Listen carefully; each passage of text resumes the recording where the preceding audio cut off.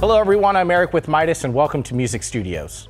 This is the DL231, a 24 input, 24 output active microphone splitter for use with the Pro Series and M Series of digital consoles. Loaded with two independent award-winning Midas microphone preamps per input, the DL231 can provide separate gain control for front of house and monitor engineers.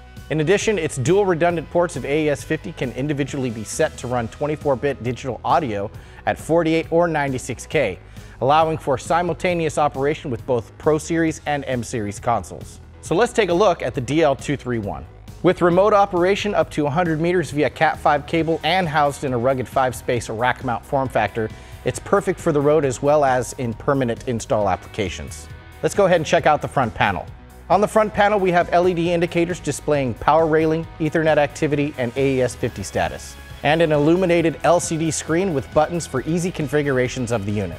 Let's check out the back. First are your 24 inputs, each with two independent award-winning Midas microphone preamps and individual LED for 48 volts phantom power, all on locking XLR connectors.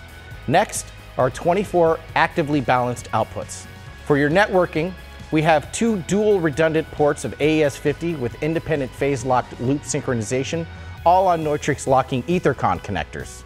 There's also an Ethernet port for diagnostics and firmware updates. In the top corner, there is an all mute button for silent patching at the stage end. And lastly, a dual redundant auto ranging universal switch mode power supply for reliable touring around the world.